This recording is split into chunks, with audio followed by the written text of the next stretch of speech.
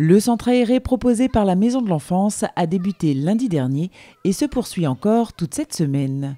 Au programme, des activités manuelles, du sport, de la cuisine, des créations ou encore des sorties sur le thème Remontons le temps.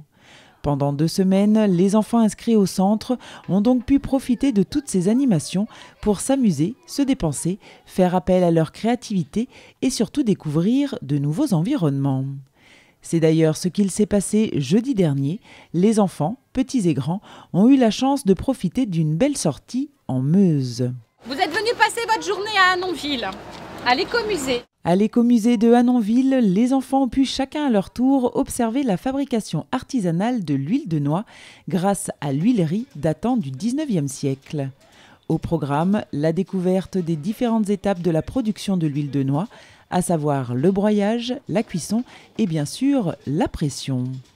Et après avoir récolté ce beau liquide doré, les enfants ont pu le déguster sur un petit bout de pain. En fait, tu vas me servir un dernier. C'est bon? Une belle découverte et une bonne dégustation qui s'est poursuivie par des ateliers. Un atelier sensoriel sur les fruits à coque et un quiz sur les graines, ainsi qu'un défi casse-noix où les enfants devaient, à l'aide de plusieurs outils, casser des fruits à coque. Je sais, une amande. Tu penses c'est quoi Une amande Viens, on va voir. Regarde. Montre-moi. Ouais, c'est bien une amande, regarde. C'est la même chose. Elle est plus grande, celle-là, mais c'est bien une amande.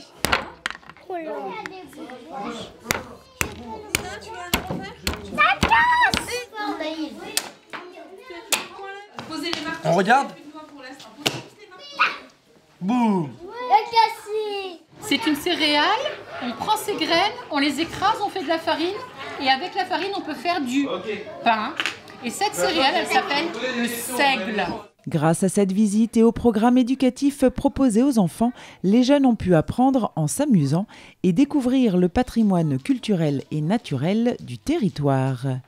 Une belle journée de découverte et d'apprentissage qui a permis de sensibiliser les enfants à l'importance de la préservation de l'environnement et de la biodiversité.